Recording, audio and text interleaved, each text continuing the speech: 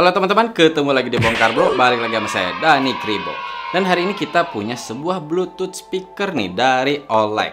Ada Oleg OBS 200 yang dia udah portable banget buat dibawa-bawa. Tapi bakal worth it atau enggak, kita lihat aja.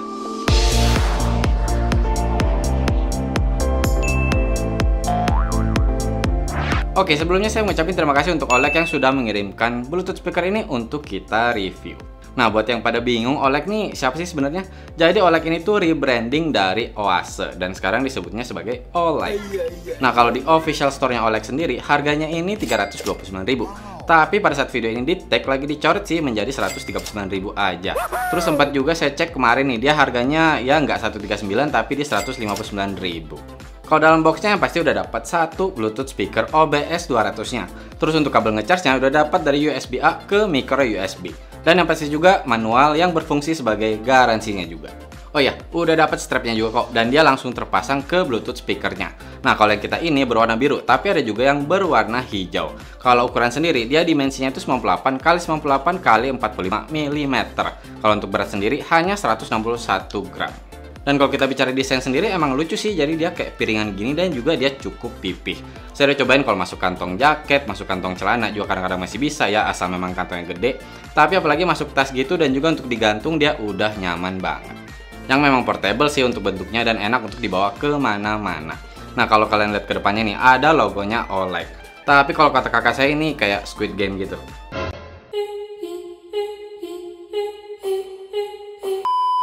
Oh ya, kalau untuk si strapnya ini, dia juga tuh kelihatan di sini tuh uh, agak terbuka gitu untuk di sisi-sisi speakernya ini dan kelihatan si strapnya itu melingkari si Bluetooth speaker ini. Ya bisa dibilang lucu sih, unik aja gitu untuk desainnya. Nah, misalkan juga nih kalian taruh OBS 200-nya di atas meja gitu, dia sudah pakai karet untuk dibawanya jadi tidak mudah bergeser pada saat sedang digunakan. Nah, kalau kita ke bagian atas, ada satu tombolnya ini untuk menyalakan atau mematikan. Dan juga, misalkan kalian sedang pakai nih, dia berfungsi sebagai play pause, menerima atau mengakhiri panggilan. Dan juga bisa ditekan dua kali untuk menghubungi atau memanggil e, nomor yang terakhir kita hubungi di device kita. Ya, memang sih kalau kita ke bagian yang agak bawah sedikit ini, ini tuh ada yang ditutup karet. Dan di sini ada port tipe C, ada juga lampu indikator, dan juga mikrofonnya. Nanti deh kita cobain mikrofonnya. Kalau untuk baterai sendiri sudah ada 500 mAh di OBS 200 ini dan diklaim playtime-nya itu 10 jam dengan volume 60%. Oke, saya memang nggak cobain sampai habis banget ya baterainya dari full itu. Cuman yang saya notice itu setiap saya pakai selama 2 jam itu berkurang sampai 20% untuk baterainya. Ya memang sih itu di volume 50% ya. Kalau misalkan lebih kurang, mungkin dia akan lebih ya hemat untuk baterainya. Jadi kalau untuk sesuai klaimnya di 10 jam 60% volume sih saya nggak yakin ya ya paling di 5 atau 6 jam lah tapi dia udah ada fitur auto off gitu. Jadi ketika kalian uh, udah nyalain bluetooth speakernya terus nggak connect ke mana-mana setelah 10 menit dia akan mati sendiri. Jadi lumayan untuk menghemat baterai. Kalau untuk koneksi dia menggunakan bluetooth 5.0 dengan kodeknya itu SBC kalau untuk pairing gampang banget. Kalian tinggal nyalain si bluetooth speakernya kalian bisa langsung searching di device kalian untuk pairing dan kalau kita bicara jarak, sebenarnya sih dia udah cukup lumayan ya. Jadi ketika saya naruh HP saya di kamar, saya bawa Bluetooth speakernya keluar nih, saya tutup pintu. Dia sebenarnya masih connect. Walaupun untuk suaranya sih udah mulai hilang-hilang gitu, jadi koneksinya udah mulai batuk-batuk. Tapi nih dia udah punya fitur TWS mode. Jadi misalkan kalian punya dua biji nih, kalian bisa mengkoneksikan satu sama lain. Jadi akhirnya dia akan stereo. Ya sayangnya kita cuma punya satu, jadi kita nggak bisa cobain sih untuk TWS mode-nya. Nah kalau untuk latency gimana nih?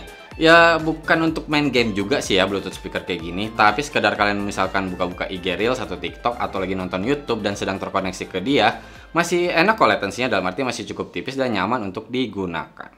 Halo guys Assalamualaikum warahmatullahi wabarakatuh. Balik lagi di Bongkar Bro. Masih bersama Alit Suralit.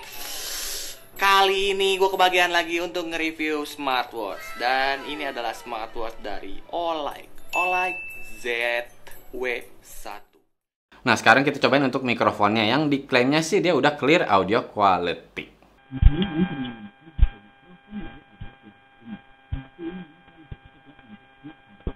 Nah, jadi Pak, eh, semestinya sih suara saya akan lebih jelas lagi terdengarnya atau bisa dibilang lebih terasa lagi untuk si volumenya ini terasa lebih gede.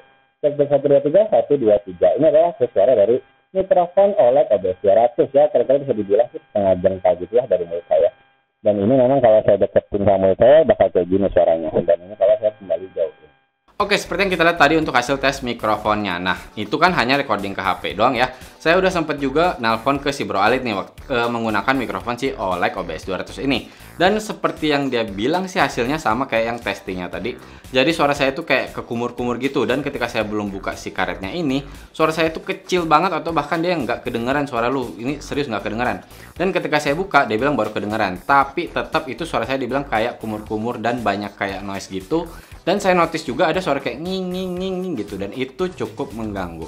Oh ya, saya masih singgung juga nih. Ini kan dia penutup karetnya tuh seharusnya untuk uh, menutupi dari air misalkan ya, dia misalkan udah water resistant gitu. Cuman saya nggak nemu dia IPX berapa, jadi saya nggak tahu apakah dia water resistant atau enggak. Nah kalau kita bicara untuk mikrofon sendiri, ya dengan adanya penutup karet ini jadi menghalangi si mikrofonnya sih dan suara saya jadi sangat ketutup atau tidak terdengar oleh mikrofonnya. Tapi balik lagi dengan kualitas mikrofonnya seperti tadi sih, ya saya tetap lebih prefer untuk menggunakan mikrofon HP aja langsung. Disconnect aja dulu baru nelfon. Oke, sekarang kita ke kualitas suaranya. Untuk rated powernya sih dia memang hanya di 3 watt. Untuk frekuensi range di 20 Hz sampai 20 kHz. Dan hasil suaranya sih, eh, aduh gimana ya, susah. Intinya sih gini deh, untuk kualitas suaranya saya lebih ke ke arah dia yang penting ada suara bisa dibilang kayak gitu. Sorry nih maaf maaf aja nih. Kalau kita lihat dari harganya menurut saya sih ya kualitasnya mungkin masih bisa agak naik kali ya dalam arti suaranya bisa mungkin lebih jelas aja gitu. Nah maksud saya gini kalau si bassnya ini dia tetap ada dentuman walaupun hanya yang pep pep pep gitu aja dan itu mau di lagu EDM sekalipun saya sih kurang merasa bassnya ini bisa keluar Nah kalau kita bicara si midnya sendiri, dia kerasa memang agak forward dikit dan dia kayak mengambil yang posisi cukup dominan, jadi kedengarannya jelas sebenarnya.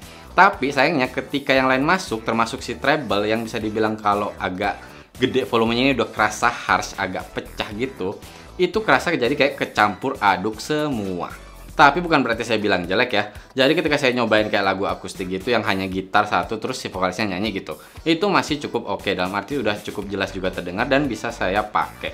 Cuman ketika lagu band aja misalkan yang instrumennya tiga ke atas gitu, empat apalagi yang lebih, itu udah kerasa nggak enak dan juga di lagu-lagu EDM, pokoknya lagu-lagu elektronik gitu, saya sih tidak bisa menikmati intinya sih kalau untuk suara saya nggak bisa bicara banyak karena dari pertama saya pakai saya cobain beberapa genre tadi hanya akustik yang saya dapat itu pun bukan yang bagus banget juga menurut saya ya bisa dipakai aja gitu.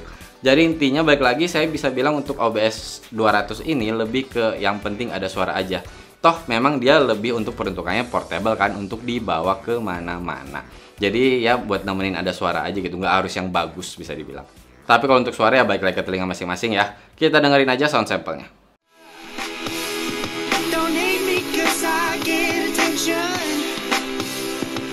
turn me into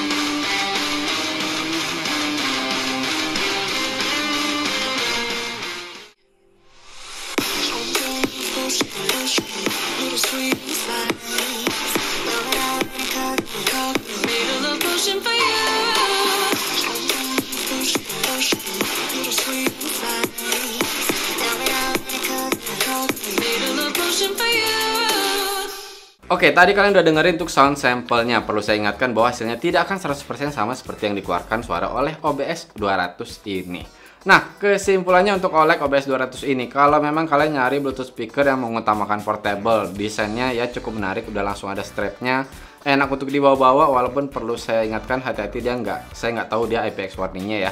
Tapi intinya untuk untuk portable sendiri dia udah enak banget dan bahkan bisa TWS mode. Cuman kalau kalian yang masih mencari kualitas suara sih saya kurang rekomen ya untuk OLED OBS 200 ini. Oke teman-teman cukup sekian video kali ini buat kalian yang senang dengan konten review seperti ini bisa subscribe ke Bongkar Bro. Mohon maaf kalau saya ada salah-salah kata atau ada kekurangan. Terima kasih banyak sudah menonton. Bye.